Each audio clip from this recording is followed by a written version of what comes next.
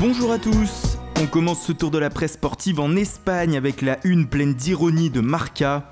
Le quotidien Pro-Real affiche en première page Cristiano Ronaldo avec le titre Il reste une manière de se moquer des quotidiens pro-Barça comme Mundo Deportivo et Sport, qui hier avaient réalisé le même titre avec Neymar.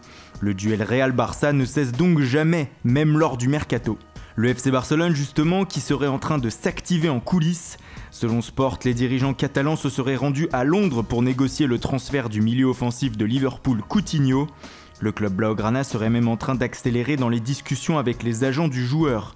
Cependant, le journal espagnol précise que les Reds ne sont pas prêts à lâcher leur star pour moins de 100 millions d'euros.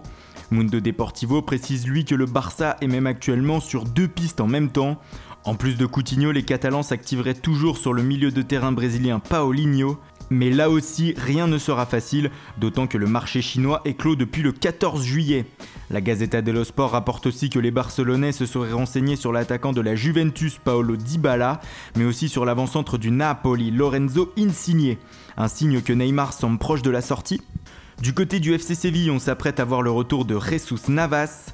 Selon le journal local Estadio Deportivo, l'ancien joueur de Manchester City, libre depuis le 30 juin, pourrait débarquer vendredi en Andalousie.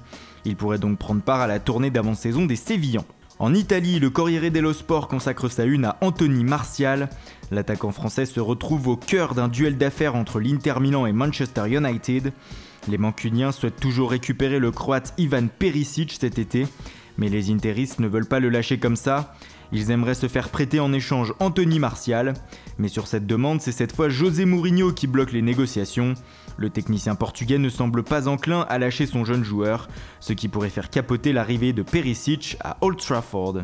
En Angleterre, justement, les dépenses folles de Manchester City font réagir, et notamment Chelsea.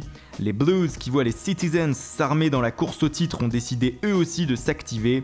Selon le Daily Mail, les dirigeants londoniens seraient prêts à lâcher pas moins de 280 millions d'euros pour trois renforts.